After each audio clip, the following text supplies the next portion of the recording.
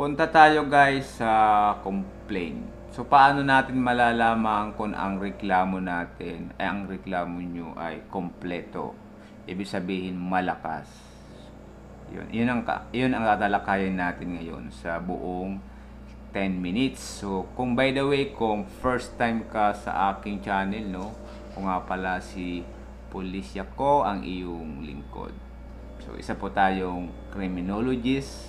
So andito kay andito yung channel natin para tulungan kayo, i-assist kayo kung kayo man ay naaagrabyado or mayroong gustong reklamo or narireklamo as well. So ano at ano tayo? Kumbaga sa ano, doble kara. Okay, assistant, legal assistant. So isa po tayong criminologist. Lilinawin ko po ah, hindi po ako abogado.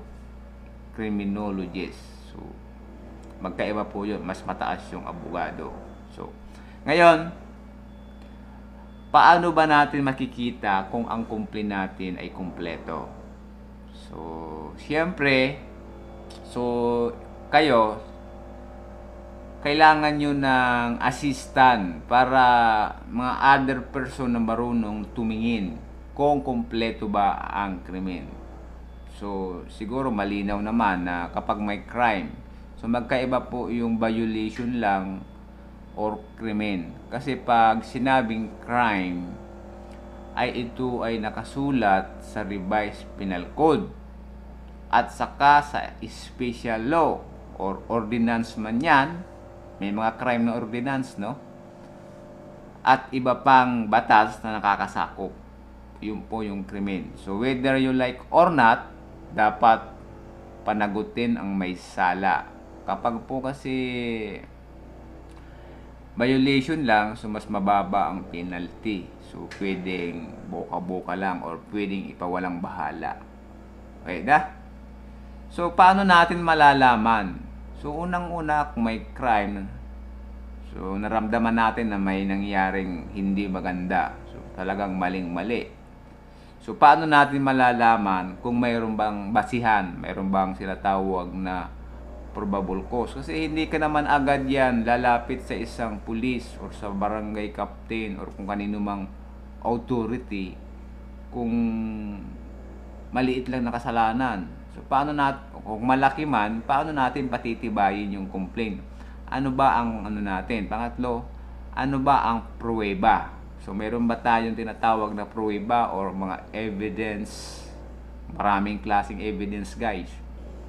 So hindi na natin lalahatin. So basic lang muna ang tatalakayin natin. So masyadong technical yung ibang mga klase ng evidence evidence, so baka hindi natin maintindihan. So, yung common lang. So, importante sa pruweba, yung pag nag-establish tayo ng kaso, hanggat maaari, mag-provide tayo any tatlong witness na ito. So, marami din klase ang witness. So, pumili lamang ako ng tatlo. So, yung tatlo, ito yung kilalang kilala natin na sinasabing eyewitness. So, alam naman natin yung eyewitness, 'di ba? Yung mismong nakakita ng pangyayari o tinatawag na mayroon siyang personal knowledge sa nangyari. Eyewitness, nakakita. O dating i-define yan, no? Basta yung nakakita o mayroon siyang personal knowledge, ayan yung eyewitness na tawag. So, pangalawang pruweba, kung mayroon kung mayroon tayong mapo-provide ng expert witness. So, ang expert witness, guys, hindi wala 'yan sa pinangyarihan ng krimen. Ito yung mga tao na specialty, may mga special skills tulad ng suspect sa Dangerous Drug Act kapag na-confisca yan ng police, yung sus, kaya nga ang tawag diyan ay suspected hydroamphetamine hydrochloride or shabu. Ipinaplastic yan, minamarkahan. Tapos yung mga pulis, alleged lang yan. Hanggat hindi na-confirm, ipinapasa po yan sa mga expert witness sa laboratory. So, ang magti-testify niyan, ang mag-identify diyan yung expert witness kung tawagin. So sila yung kailangan nila ng dokumento para i-attach doon sa kaso na sinasabi na confirmation, mayroong dumaan sa proseso na confirmation na yan talagang nakuha nila ay shabu or hydroamphetamine hydrochloride ang scientific ng shabu. Okay? So, yun po ang proper identification and documentation. So, maaari ipatawag yung nagsulat nun na, na, lab, na technician or yung doktor na nagsuri nun at mag-testify doon sa court para i-confirm na talagang iyang nakuhang yan ay positive na hydrochloride. Ganun po ang sistema natin ha.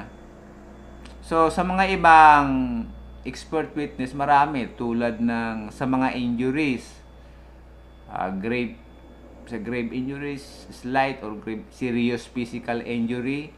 So may mga doktor na involved diyan. Sila po yung mag-identify, halimbawa, ikaw ay na-injury.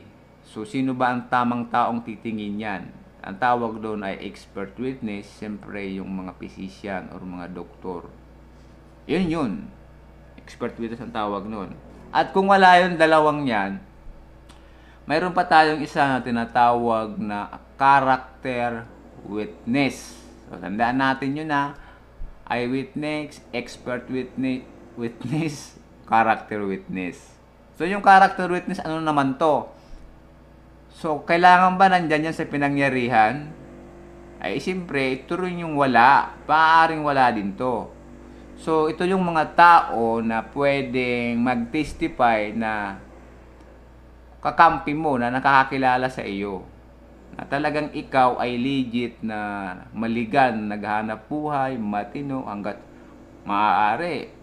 Mula pagkabata hanggang sa paglaki mo, nasubaybayan ka niya at nakikita talaga na kumbaga sa ano, mataas ang GMRC mo. Mataas ang respeto, kredibilidad sa mga versus sa inaakusa sa iyo. Pwede po to character witness. Yun po yung tatlong yan. So, pag mayroon tayo, siyempre, yung other evidence, yung mga tools. So, kung iyan ay theft or robbery, dapat, example, sa bahay, paano mo masasabing robbery yung nangyari dyan? So, dapat may forced entry yan. Mayroong sinira. Ang indicators ng robbery, kapag yung isang perpetrator or respondent or suspect dumaan doon sa hindi may ginamit na puwersa. Halimbawa, dumaan sa pinto, nakalak yung pinto pero sinira niya. So, robbery ang tawag nun. Mayroong force. O kaya, hindi siya dumaan sa pinto, sa bintana, sinira niya yung bintana. So, robbery yun. So, kailangan may documentation kayo nun hanggat maaari tumawag ng investigador or SOCO para sa picture taking or mga pagkagatter ng other evidence. So, marami pa.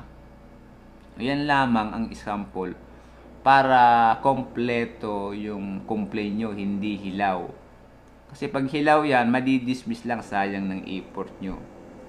So ngayon, kapag mayroon tayong mga ganyang senaryo, kompleto ka, saan ka dapat pupunta? Ano ba ang tinatawag na basihan? Saan ka ba pupunta? So, ang bawat krimen guys, ay mayroong forecasting na tinatawag na final sentence or penalty. Oh, doon tayo sa penalty. Kapag ang isang violation ay ang forecasting penalty nito, hindi, nakasulat doon sa revised penal code na penalty ay hindi, isang buwan lamang pababa. Isang buwan na take note, isang buwan ay ito ay pwede na sa barangay. Inuobliga sila parang binibigyan kapangyarihan yung barangay na dapat dumaan doon. Dumaan doon sa barangay. Yung buwan. Ano bang mga ano bang mga krimen ang mayroong sentensyang isang buwan lamang. Ang madaling example dito yung slight physical injury. So, ang slight physical injury, kung correct me kung tama ako mga abogado, no, kung manood kayo, ay isang buwan lamang na pagkabilanggo ang parusa nito. Okay? So, ibig sabihin, kailangan mo nang dumaan sa barangay. So, mga other complaint pa, yun siguro yung mga oral defamation, no? Unjust vexation o background. Sabay, kung mahuli ka ng pulis, diretso ka na sa pulis. Pero pag bag, the same complaint, pag the same kayong residence, dadaan muna ito sa barangay bago i-entertain doon sa piskalya or sa prosecutor. Okay? So, kapag lumampas naman doon ang isang krimen, ah, pwede nang dumiretso. Hindi na pwedeng, da- kailangan, hindi na siya dadaan sa barangay. Pwede nang hindi dumaan sa barangay. Pwede na kayong dumiretso sa piskalya, prosecutor, para mag ah, entertain sila, para mag-conduct sila ng tinatawag na preliminary investigation. Parang i-establish nila yung probable cause. So ngayon, kung mayroong probable cause yan, yung kung naka-direct filing kayo, so direct filing yung yung krimen guys ay nakalipas na ng 24 hours. So direct filing na yon. Dadaan na yun sa investigation, tapos summon, ah yun, and so on. Kapag papasa ng counter affidavit yung complainant, So, pag hindi maganda yung counter affidavit at hindi kompleto, hindi detalyado versus do sa complaint, so mag issue sila ng tinatawag na warrant or tuloy yung kaso. mag issue ng magpo-posting sila ng bail kung bailable yung kaso. So, so on. So, sa court na makikita kapag na kaso. Ayun guys. So, medyo mahaba na itong ah, ating talakayan. So, paikliin lang naman natin. So, yun guys, muli, kung kailangan nyo ng crime assistant, nandito lang po ang inyong lingkod. Pulisya ko, ang inyo pong criminologist online. So, maraming salamat. Thank you for watching and likes and subscribe kung gusto mo ang ganitong mga content. Thank you for watching.